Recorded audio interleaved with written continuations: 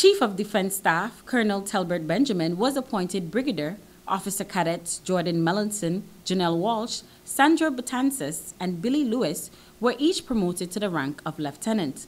ABS News sought reactions from recipients. I'm lost for words, to be honest, uh, and that doesn't happen very often. Um, I'm honestly humbled by, by this. It is not something that I um, was expected when I came into this position, obviously because this is the, the top of the, the tier.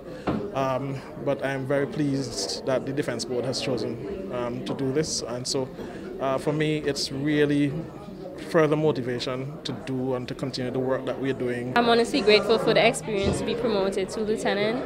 I will do my best utmost to make the Brigadier Talbert Benjamin proud of my duties and to continue to serve the nation of Antigua and Barbuda with my department. It's an amazing achievement, you know, over the past couple of months working with the team at the ABDF. It has really been a good experience, so it really does feel good to finally cement things. I am very grateful in this opportunity to help uh, to the soldiers to work in the pre prevention and treatment of metabolic disease like obesity, like diabetes, like hypertension, because the nutrition can help a lot in the, these areas and I really hope to be helpful for them. It is actually a humbling feeling, a humbling experience.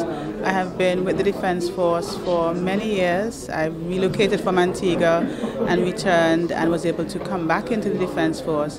To be here today is really exciting and I just look forward to what is there to be done to contribute to the force on a whole and to the nation of Antigua and Barbuda. These promotions are expected to contribute significantly to the operational efficiency and readiness of the Defense Force, reinforcing its commitment to national security.